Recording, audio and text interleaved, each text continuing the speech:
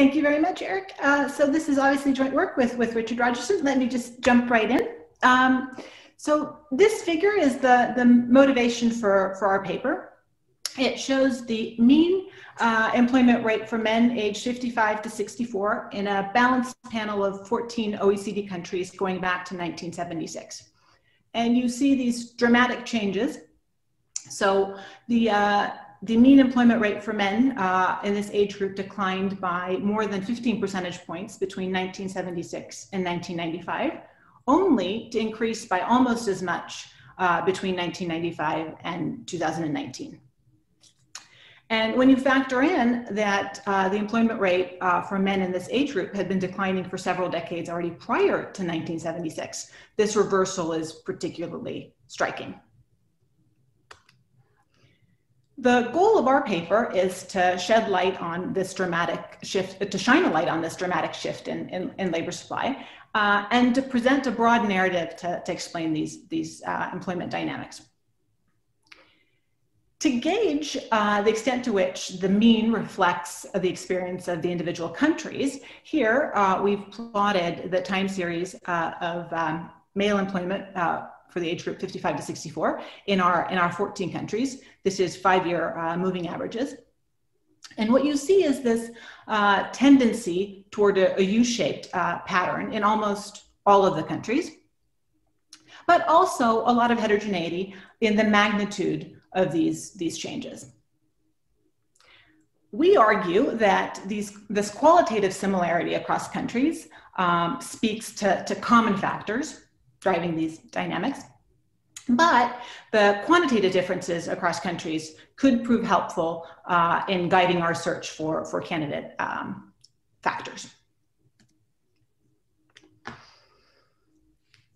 So textbook explanations of this several decades long decline in the employment rate of older men typically stresses two, two factors, namely the expansion of Social Security uh, and secular increases in incomes.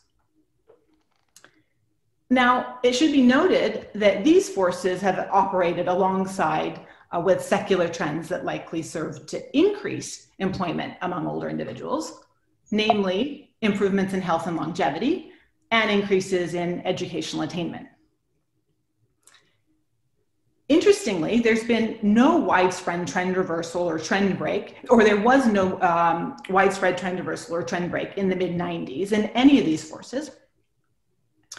Granted, there have been some changes to formal Social Security rules uh, in some of the countries, um, but that doesn't go very far toward, toward understanding kind of just how widespread these patterns are or, or the magnitudes of these changes um, that I just showed you. So all of this taken together um, means that this trend reversal in the employment rate of older, older men is really viewed as, as a puzzle in the literature. And in fact, it has you know, caused some researchers to look for potential new trend factors. And one of those, uh, or one of the more prominent ones, is rising female employment. And I'll return to that uh, in, in just a minute. But let me first talk about um, our narrative.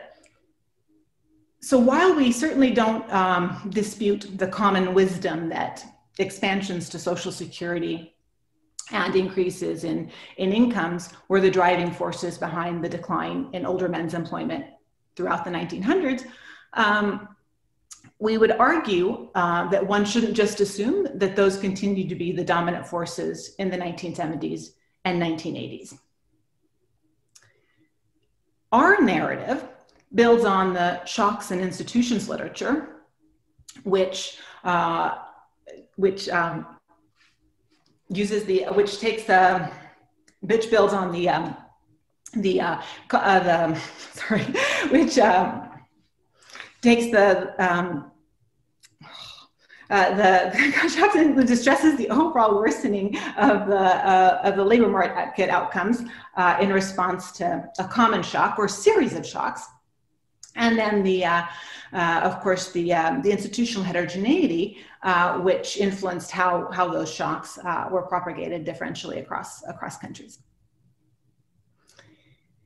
Now, Additionally, we stress the role of heterogeneous responses in institutions, um, specifically what we term shadow social security systems.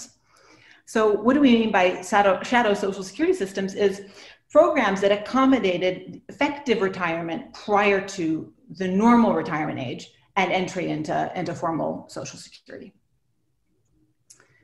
So to summarize, um, we argue uh, that the dynamics that I showed in that, that initial motivating figure are the sum of at least three processes, namely uh, a trend component reflecting kind of the standard secular forces that, that I, I just mentioned, um, low frequency but mean reverting negative shocks to labor market opportunities that affected all age groups, but particularly older individuals, and uh, a temporary shock to, to institutional features uh, in a subset of countries that amplified the, um, the common shock, um, particularly for the, the men aged 55 to, to 64. So going back I, uh, to, to this, these potential new trend factors, which I alluded to, and, and namely the, the role of rising female employment. And the, the narrative there is that, you know, going back to, to say the 1960s, women entered the labor market in increasing numbers and with differential career expectations. Um, and if you take the, the cohort that turned 20 in 1960, um, they turned uh, 55 in, in 1995.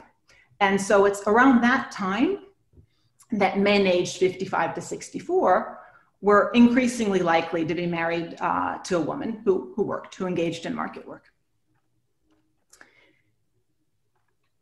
To the extent that uh, the higher employment rate of women in the mid 90s um, can be attributed to factors that took place several decades before, um, this plausibly could be viewed as exogenous from the perspective of, of um, events in, in the mid 90s.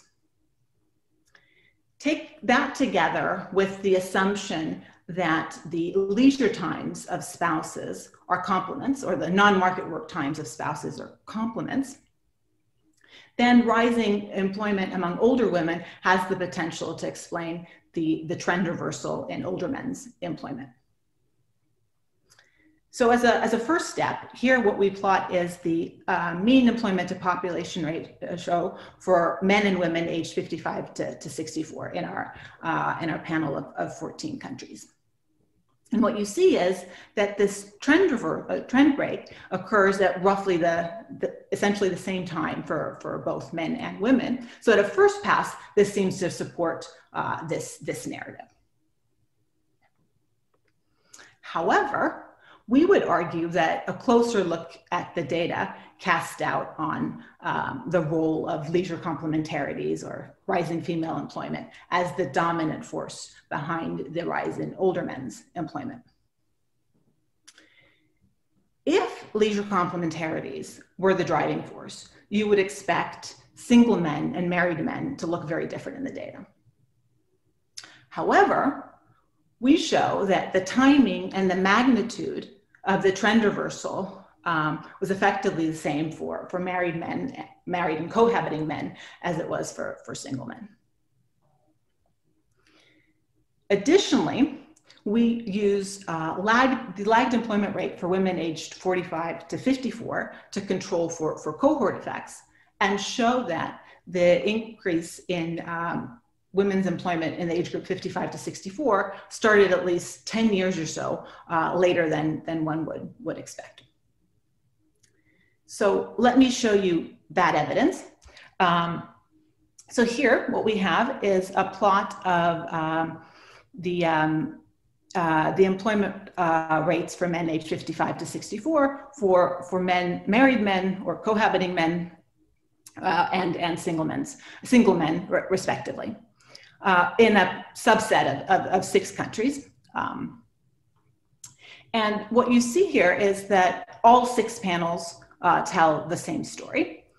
Namely, although there are certainly level differences in the employment rates of married and single men, the timing and magnitude of the trend reversals are, are very similar um, for, for married and, and, and single men. So while uh, we don't, what, what, so while leisure complementarities can certainly play some role, um, we are, in light of this, it seems unlikely that they're the, they're the dominant force. We view this uh, in and of itself as, as rather persuasive evidence, uh, but let me also show you a second, second piece of, of evidence. Um, so here what we have is we use the growth in the employment rates of women aged 45 to 54 between years T minus 10 and T minus, um, 1 to proxy for the exogenous component of the growth in the employment rate for women uh, aged 55 to 64 between years T and T plus 9. And so what this figure shows you is that the employment rate of older women, women aged 55 to 64, was depressed relative to trend in the period leading up to the, the mid 90s. So our analysis suggests that um, the female employment dynamics are part of the, the larger puzzle rather than the solution that's, that's been proposed in the previous literature.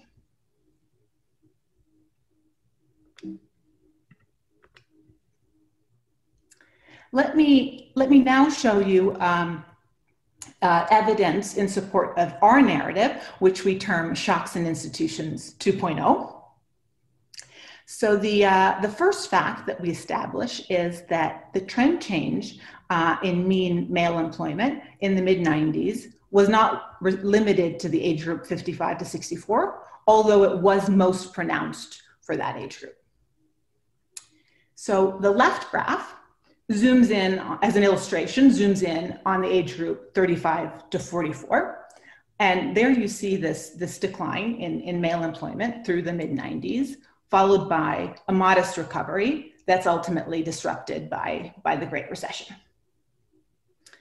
The right hand graph shows you the employment, the evolution of the employment rate for men for, for the different age groups. And what you see is this is a common pattern across all age groups, with the exception of the 15 to 24 year olds, where we see more of a leveling off rather than a recovery in the mid 90s.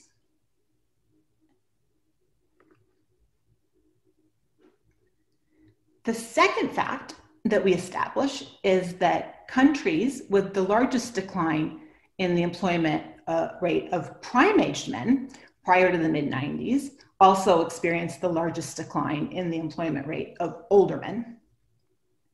So, computing the correlation coefficient between the declines in the employment rates of men aged 35 to 44 and 55 to 64 between 1976 and 1995, we get a correlation coefficient of just under 0.7.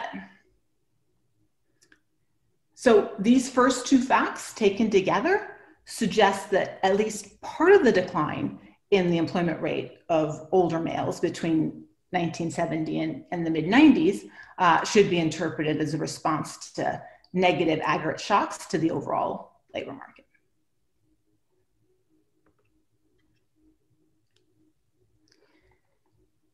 So the third fact that we establish is that countries with the largest decline in employment for older men prior to the mid 90s also experienced the largest subsequent increase. So we compute the, the correlation between the decline and the increase on either side of the minimum and get a correlation coefficient of just under 0.5. So if the increase in the mid 90s or following the mid 90s was due to the appearance of a new trend factor. There's little reason to expect um, that, that, that that new factor, the, cha- the changes associated with that new factor would be correlated with changes associated to the factors that operated earlier. Rather, we take this as evidence highlighting the role of institutional responses to the overall worsening of the labor market conditions. And that's what I'll, I'll talk about, about next. So at this point, you might be wondering if what our narrative is just a minor extension of the shocks and institutions narrative with a particular focus on, on older individuals. Um, and it's certainly reasonable to, to, to posit that that age group would be more affected by, by, by a common shock. So while that, that narrative gets one quite far, we argue that something extra is needed. And in particular, that heterogeneity in institutional changes that directly affected older individuals would help account for the heterogeneous patterns that we see across, across countries. So to that end, um, this figure shows you the employment rates for men aged 45 to 54 and 55 to 64, um, respectively, uh, in two samples, two subsamples, where the first subsample includes Australia, Canada, Ireland, Japan, Norway, and the US, and the second sample, Finland, France, Germany, Italy, and Sweden. And for now, let's just note that this partition is based on the extent of institutional changes leading up to, to the mid 90s. So there's, there's many things that we could talk about in relation to the figure, but let me point out the, a key, key observation. Um, so looking at um, the employment dynamics for the 45 to 54 year olds, you'll see that the changes are, are very similar across the, the two, two samples. But looking at the employment rates of 55 to 64 year olds, we see much more dramatic changes for the countries in, in sample two relative to sample one. Now, if it were the case that um, these countries in sample, sample two uh, in, uh, implemented temporary uh, reforms that uh, in response to, to the common shock that amplified um, the effects for, for, the, for the older individuals, only to scale those back uh, following the mid 90s, that would, would account for, for the patterns shown here. And what we argue in the paper uh, is that that's exactly what happened, and we provide, provide evidence uh, in support of that for, for a set of, set of countries. So much previous research on older individuals has focused on permanent features of, of Social Security. We argue that the most relevant policy changes in this context are temporary changes to what we call shadow Social Security systems, or what in fact created so called shadow Social Security systems, uh, facilitating re uh, retirement for individuals uh, prior, effective retirement prior to the, the official retirement age. Johanna, two minutes, two minutes left. Thank you, perfect. Um, so there's myriad and diverse uh, uh, differences across countries in these institutional changes. Uh, we document um, relevant, relevant features for, for a subset of countries, particularly European countries in the paper. Here, let me simply give a few examples of the type of policies that were implemented uh, in the 70s and 80s and then later scaled back uh, starting in the, in, in the 90s. Uh, so examples include, for example, allowing older workers to receive unemployment benefits for longer duration, creating a bridge to the official retirement age, granting disability benefits for, for labor market reasons rather than just health reasons, uh, granting laid off workers early social security if firms replace an individual with, with a younger worker. And note that in some instances, these policies uh, these policy changes were really uh, a change in how a policy was was interpreted rather than you know uh, any statute change to statutory um, policy. So we focused on the age group 55 to, to 64. Uh, and of course, we showed some evidence for, for younger age groups because we thought that, that found that, that informative to compare. But you could, of course, ask, what about older individuals? So take, for example, 65 to 69 year olds they're in fact impacted by formal rather than shadow social security systems. So one would expect that in countries with modest reforms to shadow social security, the employment rates for men aged 55 to 64 and men aged 65 to 69 would largely be driven by, by common factors. And thus you would expect uh, the uh, changes in employment rates for these two age groups to be highly correlated. Conversely, in countries with sizable reforms to social security, you would expect those reforms to have a big impact on the, on, on the age group 55 to 64, and thus you would expect the changes for these two age groups uh, to exhibit a much lower correlation. And that's indeed what, what we find. uh, providing further, further support of, of our narrative. So let me, let me conclude uh, by saying that we, we offer a new narrative for understanding the changes in male employment rates um, over time. Uh, we argue that much of the decline between the, the 1970s and the mid 90s is a result of, of a negative shock to, to aggregate labor markets and temporary policy measures that amplified uh, the effects of that, that common shock for, for older men. And thus, much of the increase post mid 90s really reflects a reversion to the mean rather than, than a new trend. Now, our approach is purposely one of a, of a broad brushstrokes uh, nature, uh, and as thus really just constitutes the first step in understanding these, these patterns.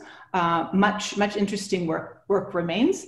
Uh, certainly interesting to delve deeper into the country level microdata and the, and the institutional uh, differences and details there. Uh, certainly many interesting policy questions remain like the study of, of the welfare implications of, of changing employment patterns for, for older men. Thank you. Thank you very much. Our first discussion uh, is Nir Jaimovich. Thanks, uh, Erik. Uh, let me share my screen. And hopefully we are live. Are we good? Great. Thanks. Thanks uh, for inviting me to discuss this really interesting paper. I learned a lot uh, from it, and um, some of the things I'm going to say will repeat or perhaps shed uh, my own thoughts about uh, what Johanna was presenting, and some will complement. Uh, let me just give you a little bit of uh, the way I think the context and importance of the paper, and I really think it's an important paper. Um, you know, facing aging populations, almost all OECD countries implemented uh, reforms to their public pension systems in recent years. And actually, if you look a little bit uh, at the details, about half of these reforms target work incentives among older workers. I think really understanding and diving into how such reforms affect the labor market is crucial. And I agree with Johanna's kind of last comment. I think this paper is really the first step in an exciting uh, new research agenda. So thank you for the opportunity to discuss this. Um, there are two parts, let me just go quickly over what the, the authors do in the paper. In terms of data, uh, the authors show rather convincingly the employment rate of older men, 55 to 64, displays a U-shaped pattern over the last four decades. And what is really interesting that this pattern is surprisingly common across many advanced economies, hinting that there is a common explanation that could be responsible. At the same time, more nuanced, the reversal magnitude across countries varies. So the authors basically have a three parts uh, uh, hypothesis. I call it institutions one. There were some provisions that favored early retirement in many countries in the 70s and the 80s. Then there is a mean reverting aggregate shock. And I think the new part, as Johanna was emphasizing towards the end of the talk, what I call institutions two, there are variations in reform institutional changes that led to an amplified recovery in a subset of countries. So what I'm going to try and do uh, in my two-part discussion, I'm going to dive into the US experience, okay? And I agree with authors. I think really the, the big narrative is looking across countries, but by diving into the US experience, I'll be able to look at some covariates that perhaps when you look at so many countries, you kind of don't have that uh, ability. Johanna mentioned at the end, let's look at some micro data. That's exactly what I'm going to do. We didn't coordinate that comment, but I, am happy Johanna mentioned that. And I think again, I want to emphasize, I agree, this is the footnote 10 from, from the paper. I totally agree with the authors. Looking at the US per se is not the most interesting thing, but by having this ability to dive in a little bit, we can see some of the key covariates. And I actually think that the message that I will hopefully try to convince you about uh, really reinforces the message of, of the authors. And then, you know, being a student of Larry, Marty, and Sergio, at the end of the day, I need to think with some model, some, some way to organize my thought. And I will put a little model in quotation marks uh, that, at least for me, was useful to understand what are the key uh, forces that shape the employment dynamics and kind of also use that model to see how it relates to the author's hypothesis and with some heroic assumptions, I'll try to do some numbers at the end of the day, okay? So let me just dive into the data.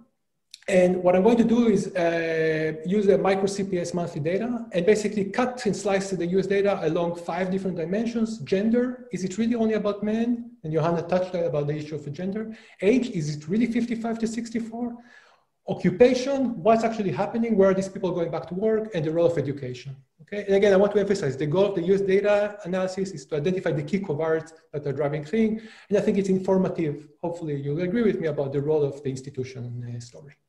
Okay, so this is kind of what Johanna was showing you for all countries. I will show you just for the US, five age groups, men and female together, and you can see the 55 to 64 reversal here at the bottom uh, figure. Great.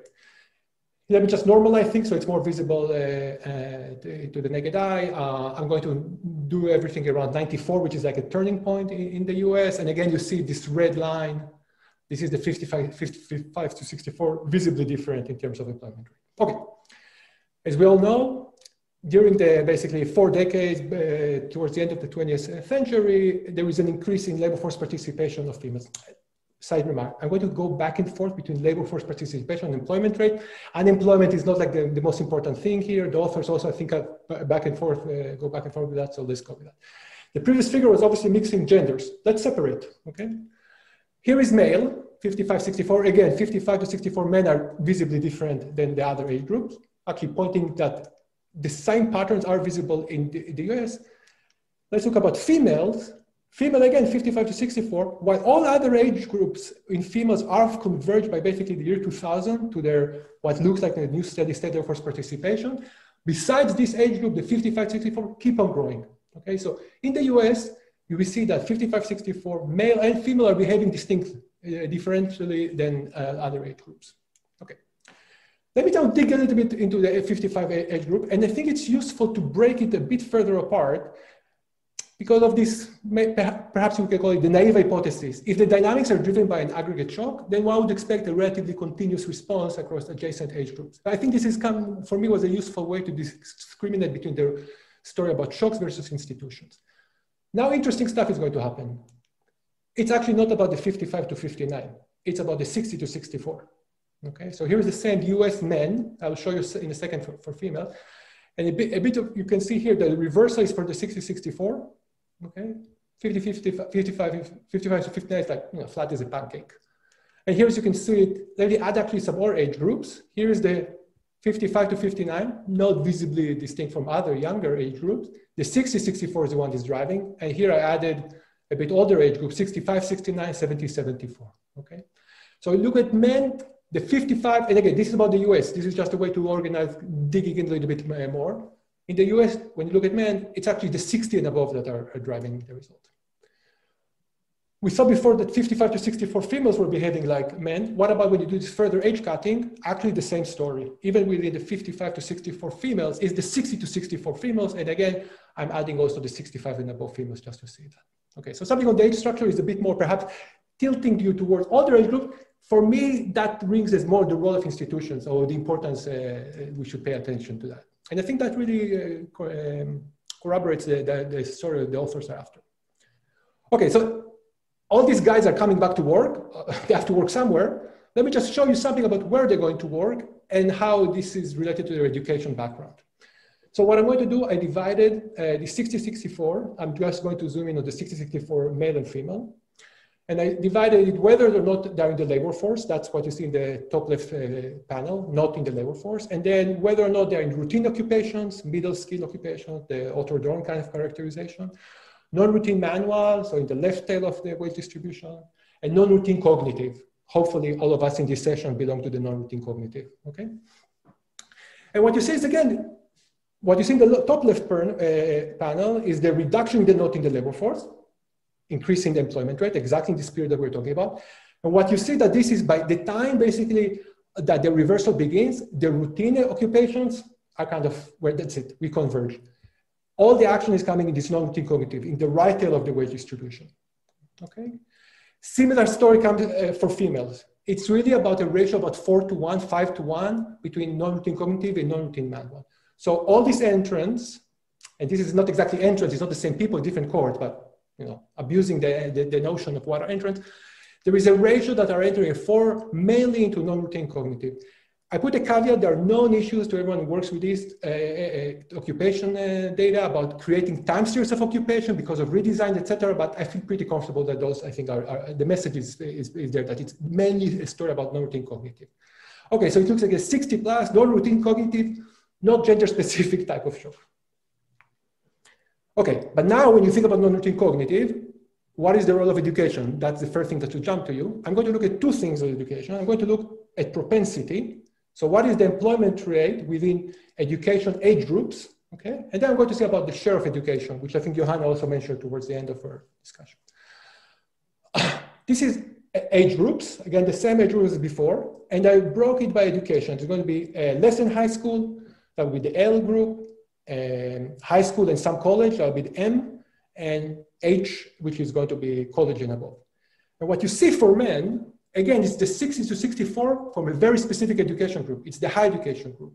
Okay, again, I'm emphasizing this might not hold to other countries, but I think even when we think about the US, this is telling us something about what are the forces, what are the groups that are exhibiting this reversal. So all what we were seeing before about 664 is men, for, for the men, it's 60, 64 who work in higher education. Again, this is where we see this U shape, okay? For females, it's a bit more, uh, uh, you know, the data is a bit noisier. We see it again, the 60 to 64, the ones that are driving it. And you see that it's in the middle education group and in the high education group.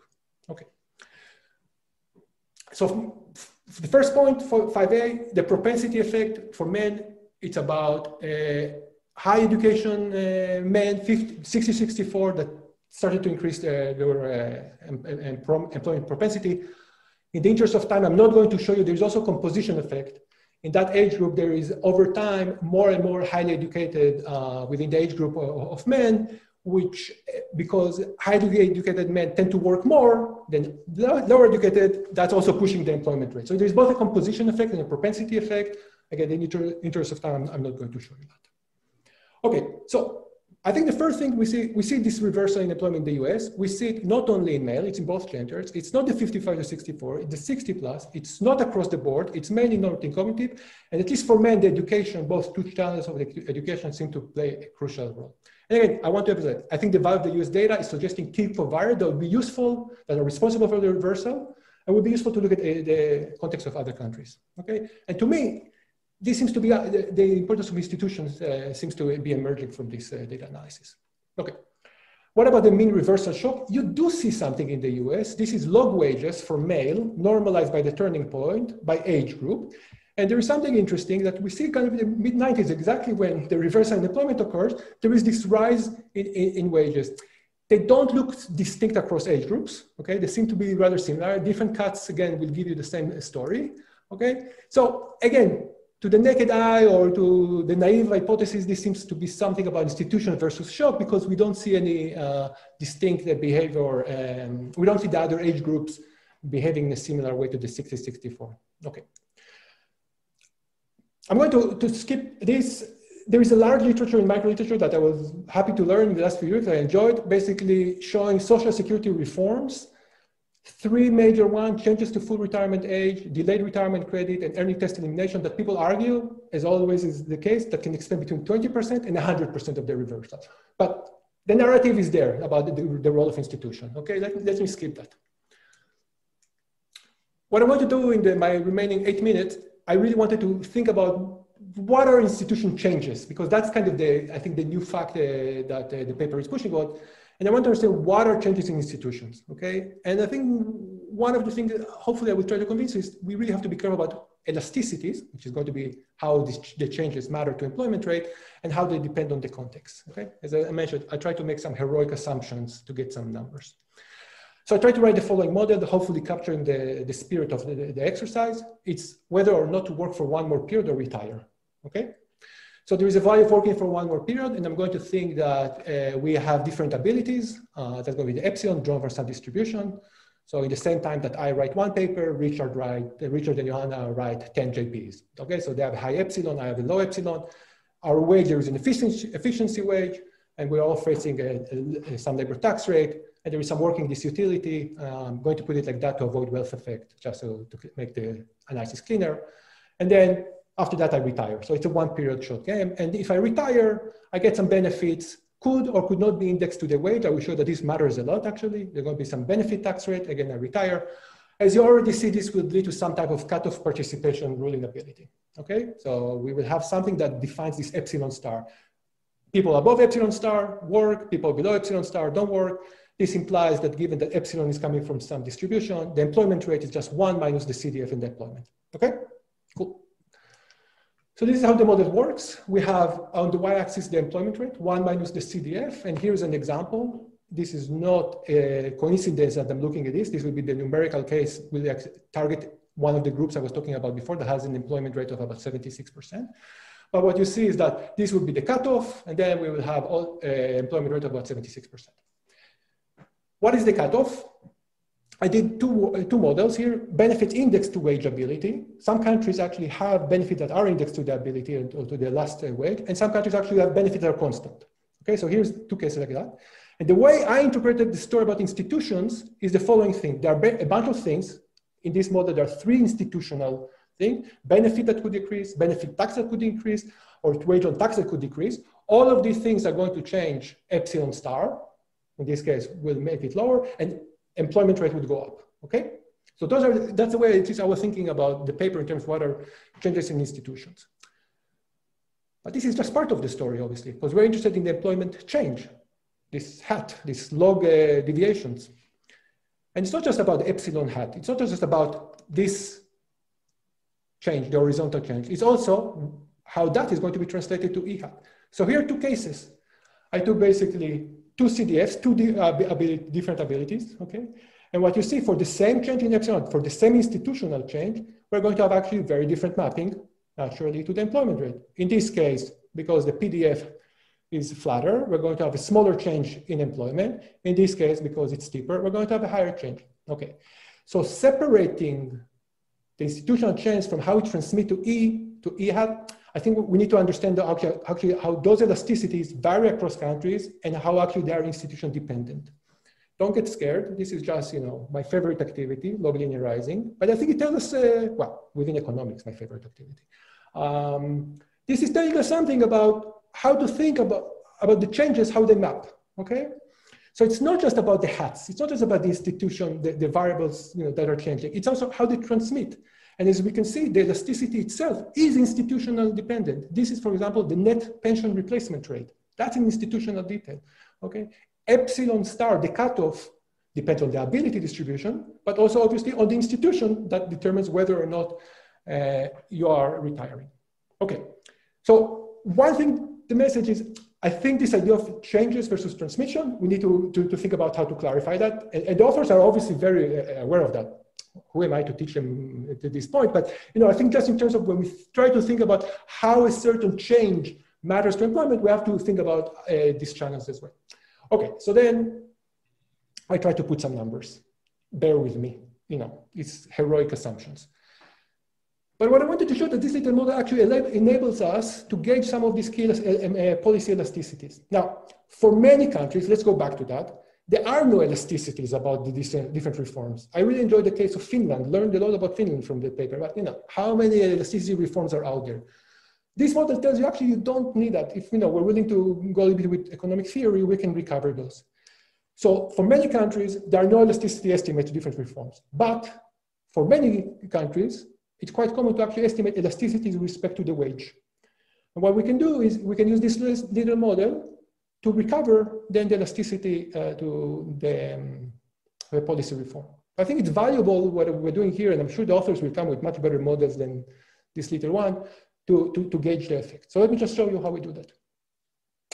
First, let me think, of, I'm going to think about, let me first make a quick point. The elasticity with respect to the wage that I interpret that as the aggregate shock, even that is institution dependent. You can see here that in a model where the benefits are indexed to wage and ability, you're going to have another factor floating around versus the world that the benefits are constant. And certainly there is variation in the type of institutions across countries. So that's a first thing. Two Let minutes, go with the near, first. near two minutes. Perfect, perfect. Mm-hmm. 20 minutes. Thanks, Erik, great. So let me just put some numbers. There are three things. Let me go with the first case. There is something about net pension replacement rate. This is this. This is the benefit to the wage after tax. There is something about the ability distribution, and there is something about the employment rate. If I can get all of those, I can actually go ahead and run uh, with the uh, for reforms. Here's net pension replacement rate before countries have been affiliated with. I live in Switzerland. I was before 20 years in the US. I was born in Israel, and my parents are from Argentina. So you just go to the OECD, 2018, but this, that's a key number from what the model was telling us. I'm not going to bother you how to estimate the ability distribution. It's you use the idea that uh, Richard and Jan are 10 times more uh, productive than me, so how their wages should be reflecting that. And then basically from some observed truncated distribution of the wage, you can recover parameters about that, okay? Good. We recover the ability distribution, and I'm going to tell this model, I want you to match the elasticity of employment respect to wages. So I took two countries, okay? I took a male 55 to 64 education above high school for the year 2012. These are the two years, that's, that's the group where I had Israel and the US kind of numbers. So I went with that. And here uh, basically have all the numbers I need. I have uh, the NPR, the net uh, pension replacement. I have the employment rate of that group. I have the standard deviation of wages. That again allows me to recover the ability. And I have the elasticity of a respect to wages. Interestingly, the fantastic paper by Saporta and co-authors, they found in Israel there seems to be 0.43. That's exactly the maximum value in Chetty's paper. So let's go with 0.43 for both countries. And then voila, I got what is the standard deviation of ability. I got what is the mean ability. I got what's the epsilon star. And now I can just plug those things and get uh, elasticity of different reforms. I have what is the elasticity for benefit reforms in the US versus Israel. I have what elasticity with respect to different taxes, et cetera, et cetera. Okay, so this is just a way now to gauge. We don't have to go and start estimating everything. Erica, now I have 10 seconds. I'll be um, wrapping up. Okay, so this is just a way through the model to emphasize how these elasticities matter. It's not just about the epsilon hat. Okay, so I think the US data was suggesting the value of zooming in on covariates, whose employment is reversing, and I think it's really consistent with the important role of institution. And I think this model is highlighting what exactly are institutions. Okay, I think that's where we need to dig in the, the next step about changes versus elasticities. And the model was giving us a way to consider other reform by basically plug and play by matching uh, um, elasticities with respect to the wage. And I really look forward to work that I think quantifies the role of institution. I think that's the next step. Uh, hopefully the authors agree with me. That's my reading of their conclusion in the point reversal. And I think really it's an first order importance uh, research topic given the demographic transition that uh, we're facing. Thank you. I was engrossed and I forgot I had to do a work. Thank you very much. And our next discussant is, is Mark Bils.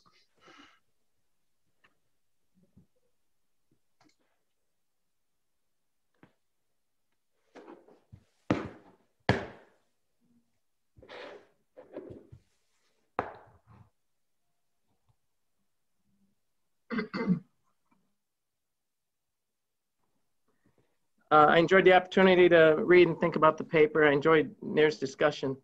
Uh, so um, Richard and uh, Johanna highlight this, these striking trends. I've already talked about that, uh, and they discuss uh, possible explanations.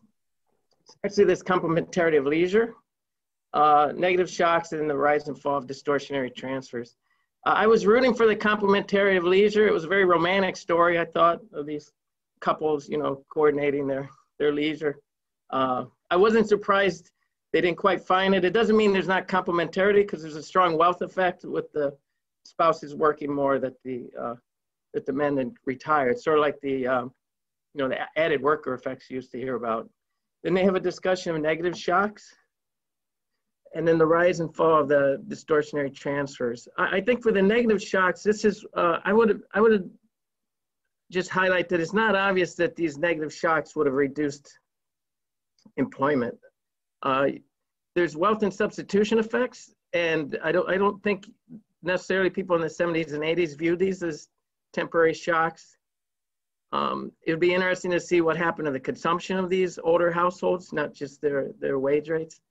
Now, there's one view of that the, the shocks are of course temporary for the older workers because they're going to retire, but that doesn't really hold for aggregate shocks unless you uh, don't have a bequest motive. So there's sort of a Ricardian equivalence that still holds, uh, that there'll still be a wealth effect for older workers.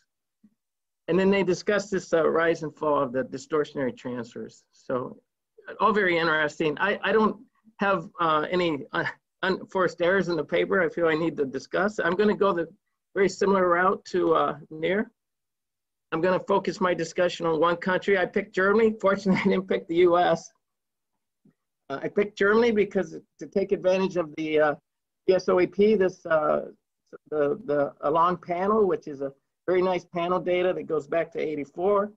It's it's large. Um, for the early years, uh, it's only West Germany, but I think everything I'm going to say is going to be uh, robust to uh, to uh, uh, excluding East Germany throughout. The nice features of this data is I can look backwards at work history of these older individuals, including retrospective questions on whether they're employed at 30, 40, or 50. So I'm going to be able to sort of go pretty directly into sort of cohort effect issues. And it also has rich data on um, not just the employment hours and earnings, but also the transfers, and then the household assets, although that's only after 2002. Okay, so before I jump into what I'm going to discuss, I just want to highlight that the patterns are pretty striking for Germany. Uh, so these are the employment population rates, just similar what, uh, what what Johanna showed for the for the broader set of samples. Um, and you can see the, the fall is a little less pronounced for the, for the men, but the rise is actually sharper. And to me, I think the, the most puzzling or the most interesting thing is the rise rather than the fall. That holds true pretty similarly for annual hours, not just employment. And then um, as they were sort of implying, it's much stronger for, uh, uh, for older individuals. So for men, you can see this, this rise in annual hours um, by these different age groups. The other age groups are actually having a decline uh, while there's is rising. For, for women, all the groups are rising, but for the older women, you get this convergence where they're clearly catching up. Okay, so what, what I want to do with my discussion is I want to first uh, ask, you know, if this possibly reflects cohort factors, and, and both uh, John and Nir sort of talked about this. I'm going to Mayor Nir's just, you know, excellent discussion uh, at various points. But there, you know, potentially you have strong cohort effects. You have, you know, trends in life expectancy, schooling, occupations. Uh, you know, in Germany, the experience growing up for the early part of the sample, I'm going to show 80. You're growing up in the 30s versus 50s or 70s. Arguably, growing up in Germany in the 30s could look quite different than, than in the 70s. Uh, and then also allows me to control for this past work history. And then after that, I'm just going to turn to talking about substitution and wealth effects, uh, the patterns in wages and wage growth, patterns in assets, and then a little bit about changing policies in, tech, in transfers. Okay, so some possible cohort factors. One would be rising uh, life expectancy. I'm not going to spend any more time on that. It, it, it increases throughout in Germany, but at a slower rate after 2000, and so I don't think uh, I don't think that's a natural channel. Uh, rising schooling attainments. Schooling attainment's a powerful force for uh, working more when you're old. If you take a, uh, you know, the simplest thought of schooling is we have more schooling in a, a particular generation. Uh, you get higher earnings, but you start later in, in uh, there should in principle be an envelope condition where there's no wealth effect of that extra schooling. So I think it would be very easy to calibrate a model where an extra year of schooling translates it maybe even to more than one more year of, of working late in life. And you can see the attainments grew very rapidly and they actually started growing particularly rapidly when the employment rates started turning around. Again, remember these are the, these are the uh, attainments for the 55 to 64 year olds. So uh, it's just a slice of this group at each time period. If that's not clear, I'll, I'll, I'll state it again, but that's, this is the trend for that particular group. Um, now, having said that, you see, we really still see, uh, again, Nir's found something different for the US, but you see these trends for both schooling groups. Here, I just break it into greater than 12 years and less than or equal to 12 years. And you can see there's a, a rise for the uh, these again, all the older workers, these are the men 55 to 64 year old. You see a strong rise for both groups. Uh, neither group rises quite as much as the, as the green line, which is what was for overall because it does have this compositional effect, but it's not much driven by compositional effects. You see strong rises for both groups. And the same holds true for women. Uh, there's many more of these po population are in the 12 years or less, so it's, it's gonna largely mimic um, the, the, the, group for them largely mimics this, but the, the ones with more education increase also. So it's not just a, a compositional effect, I don't think. Okay, so um, uh, we talked about possible cohort factors. I think it appears that cohort factors do not explain much of the phenomenon. That's consistent uh, with what the authors said. So in particular, there's a V-shaped uh, in this, this employment is, is relative to an individual's earlier life cycle employment, in particular relative to employment status at age 50. So I could have controlled for fixed effects, so I did something very similar but simpler, similar but simpler, which is uh, controlled for employment status at age 50. But first I'll just show these figures. These are for the men 55 to 64. So we know they have this V shape in their employment. But if you look at their employment rates at 30, or when they were 40 or when they were 50, um, those, those aren't increasing. So it's not like these, it's in fact, later in years where the employment's increasing at the older ages, those were the cohorts that actually showed sort of declines in employment um, earlier here. Somewhat similar for women.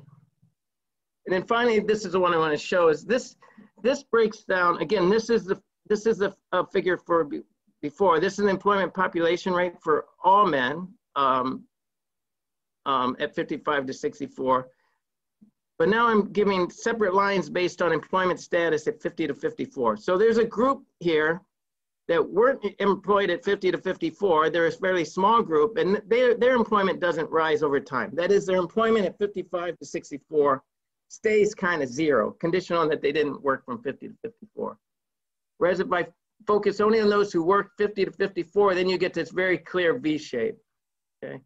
Which is saying when you, you know, when you control for this sort of history of work, you actually get a much more striking V shape. That's particularly true for women. So if I, again, I have two lines now, one for women who weren't employed at uh, 50 to 54 and another one for those who were and here again is the total. So this takes out, that this is a compositional effect of these two groups. And you can see that if I only focus on the women who were in act, actually employed in 50 to 54, you see a very, very striking fall from like 0.8 down to 0.4 and then back up to 0.8. So I think this reinforces their message that it's not a cohort effect for Germany. Okay, so then I, I want to um, talk a little bit about substitution and wealth effects. Um, I don't have consumption data. Ideally, I'd look at consumption, um, you know, wages relative to consumption. That would be like the natural thing, I think, to look at. Uh, but I'm going to look at uh, some evidence on wages and on, on uh, assets. So if I look at the median, uh, I'm using the median real wage at ages 50 to 54. So I'm using uh, the wages at 50 to 54 just to try to limit a selection effect that over time, as the employment rates are falling and going up, you might get a selection of the type of workers. And you see uh, these in hourly wages in euros in 20, 2018 euros. And there is, you know, some increase in the real wage. It's uh, not enormous, greater for women.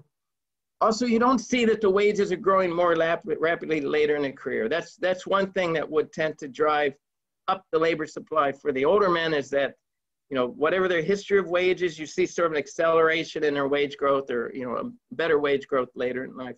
Didn't really see that in the German data. In terms of assets, you do see a, a pretty clear decline in median assets. Uh, again, I'm taking the assets at 50 to 54, so they're not influenced by the employment decision and 55 to 64. And you can see, particularly during, excuse me, particularly during the Great Recession, there's this decline. But there is this secular decline in median household assets, not in mean household assets because there's a upper tail that tended to have their assets grow pretty rapidly. But there is this drop in assets. And there's a, definitely a, a, drop in median assets held at 50 to 54 relative to the median earnings, you know, 50 to 54. Um, and these are not trivial drops. Um, so this is a drop of about um, 50% for the women and, and pretty much 50% for the men if I just judge the assets relative to uh, earnings. Now in the literature, I mean, it's very clear. I mean, one thing we know, there's a clear wealth effect on labor supply, and so there should be a clear negative effect uh, of assets on labor supply or a positive effect of a decline in assets. Um, that's, that's, different, uh, that's difficult to highlight in the data because of the heterogeneity. Households that tend to save more uh, also tend to work more. One of the reasons they work more is because they want to save more. Um, but I will just mention that uh, um, Natalia uh, Gimpelson is working on a project uh, with this data related to retirements. And I, will just highlight just sort of a side thing she found is when you instrument for assets, uh, ceteris paribus, but, but instrument with whether you grew up in East Germany or grew up in West Germany, as an instrument for having fewer assets, the, individuals who grew up in East Germany have fewer assets. You do see a clear wealth effect of those assets on, the, on retirement decisions. She's looking at retirement decisions. Um, now I'm going to turn to, how much time do I have, Erik? four and a half minutes, five Okay. minutes. We'll call Okay, it. so I'm going to finish by talking about the unemployment benefits, um, and particularly the pensions. So you can see there's this clear decline in, and, uh, um, and this doesn't go back as far, so this is starting in 95, so you should view all this with respect to the period when the, when the uh, employment rates for the older workers are growing. So you can see that the mean of the unemployment benefits are declining, particularly for, for men. Now, of course, that also is going to reflect, you know, for whatever reason, the, the men are working more, you're going to see a decline in these benefits. Um, if I look at the median unemployment benefits conditional on receiving them, uh, that doesn't show um, so much of a, of a trend. Now, if I look at the mean of the old age and disability pensions, there you get this really nice, you know, um, reversed U, which is sort of the inverse of the employment rates that uh, and Richard were, were highlighting, particularly for men. Uh, and if you look at the median, you do see this is the median uh, old age and disability pensions conditional on receiving, and you do see a pretty significant decline. And then the last I'll say here on this is if I look at the, the mean pension for um, whether you're employed or, or not employed, you also see uh, uh, it's, it's actually a, a fairly significant decline. This is um, the differential. I'm going to focus on just one line. Um, for women, you don't really see this, but for men, you see, you know, up here a 15, um, 1500 euro a month higher pension. If you look at just the, the men who aren't working versus working, and that declines over time. And that's going to reflect these reforms, including reforms that allow you to sort of keep working maybe and still collect pensions, which all work in the direction of encouraging employment. Um, if I look at employment population separating uh, older men by age, um, you see that both the, um, all the groups rise, all of them show this pattern. Um, this is for men, but particularly those 60 to 62 and those 63 uh, to 64. Now, the reason I highlight that is there's just like a, there's a reform to the system like every six months, I think, in Germany. But uh, a couple of big ones was a, a, reform in 1997 and a reform that occurred in 2000. It's usually called a 2001 reform, and it came in stepwise. So the 97 one uh, uh, raised the retirement age uh, for insured uh, pensions, so not disability. And so it would be natural to see a rise uh, in employment then for those um, 63 to 64, starting in 97. I think you could argue you see something like that. Um, this this uh, change in the disability retirement age from 60 to 63 that's kicking in starting in 2000 or 2001. You should see it's change here for this group.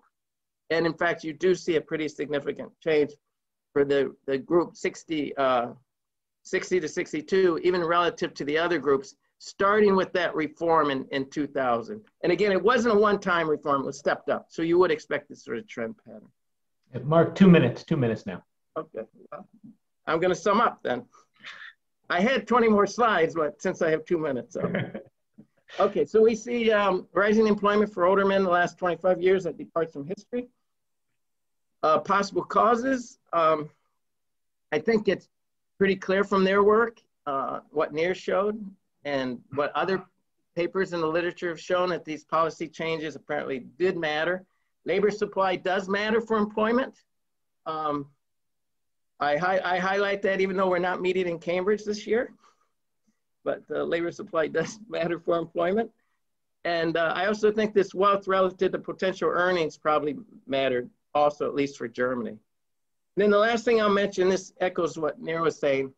I think probably there are other important factors that mattered. Um, and one of them is going to be this changing nature of the work versus non-work for older individuals. So I don't have as good of a figure by this uh, uh, uh, uh rote work versus less rote work.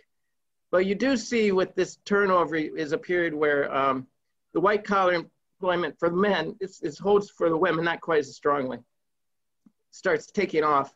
And so back here in 95, you have, um, you know, only a little over, nearly three times as many in uh, the blue collar jobs to the white collar jobs, whereas here, you know, we've switched it and there's a, there's a clear majority in the uh, white collar jobs.